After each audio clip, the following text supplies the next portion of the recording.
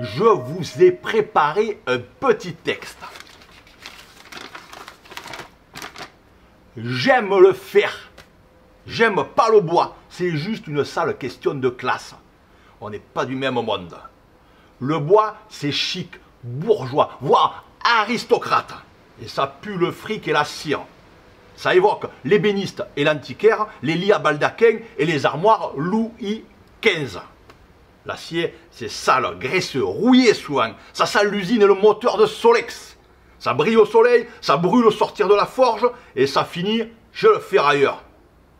Quand le bois vicieux t'attaque en loose de ses échardes torves, la lame de fer, dans toute sa franchise, te fait aux mains, avec ses bords acérés, mal ébarbés, de belles cicatrices.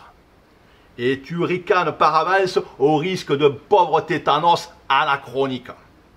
Je tolère le contreplaqué qui humblement s'encanaille jusqu'à singer la tôle, mais ne me parlez pas de troncs d'arbres pleins de résine qui pèguent.